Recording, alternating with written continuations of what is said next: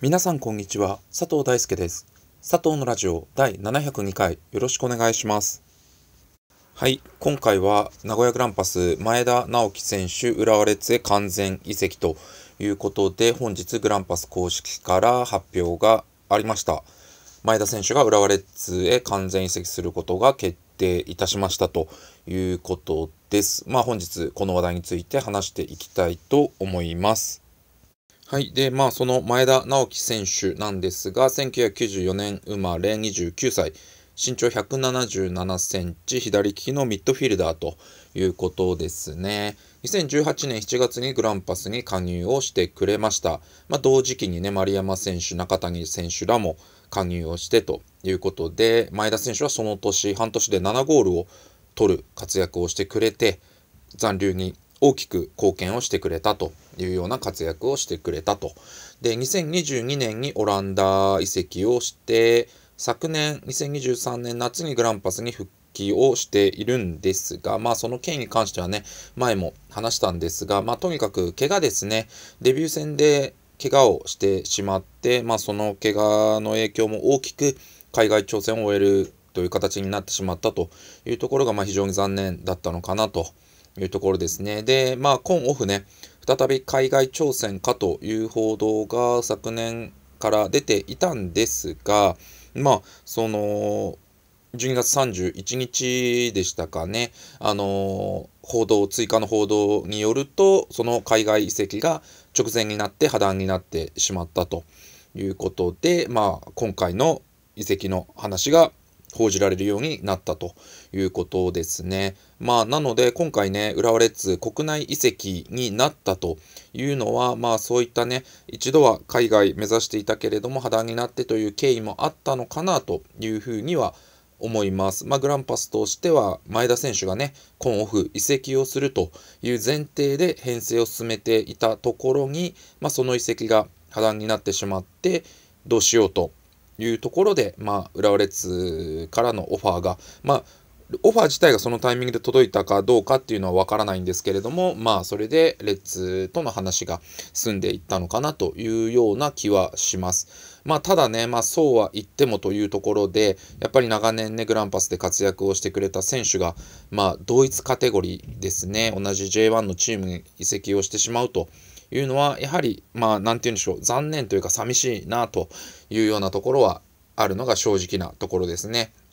で、2023シーズングランパス復帰後、得点はね、奪えなかったんですけれども、まあやっぱりシーズン途中にね、海外、オランダから戻ってきて、そのままプレーしていたというところで、コンディションの難しさとかもあったのかなというふうに思います。なので、まあ、来季ですね、2024シーズンはキャンプからしっかりとね、体作ってコンディションを整えてということで、またね、あのー、しっかり準備をしてプレーをすればね、また活躍、大活躍するということもね、十分あるのかなと思って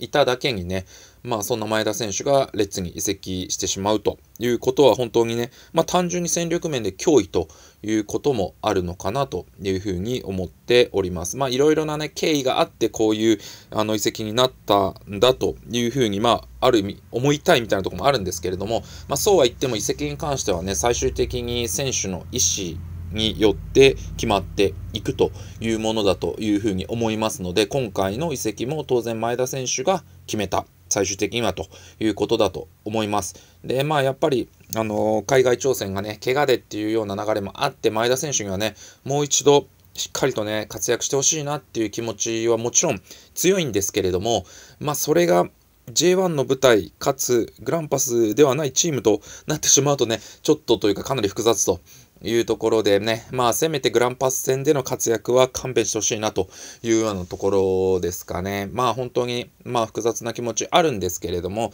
前田選手がね、グランパスに大きく貢献してくれたという事実は揺るぎませんし、本当に前田選手のおかげでね、グランパス J1 に 残留できたというところもあったと思いますので、本当に、あの、貢献度は大きかったということで、前田選手、本当にありがとうございましたというところですね。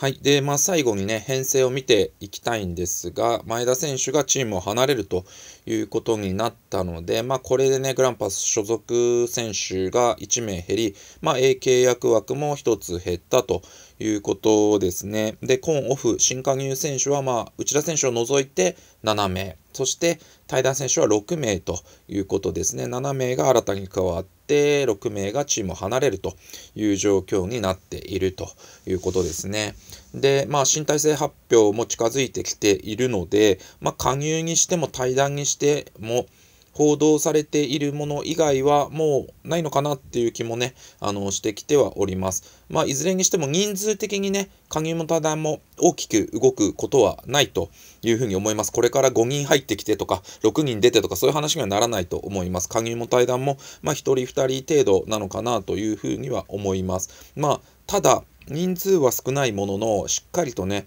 発表してくれないと困る選手が、まだ控えているという状況ですね。まあ、来季、あの、の去就が定まっていない選手も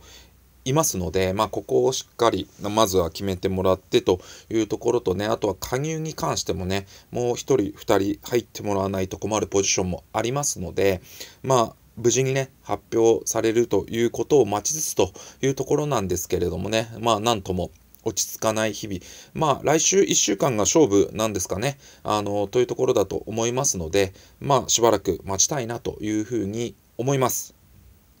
はい。そんなところで佐藤ラジオ第702回、今回はこの辺りで失礼したいと思います。最後までご視聴いただきありがとうございました。それでは失礼いたします。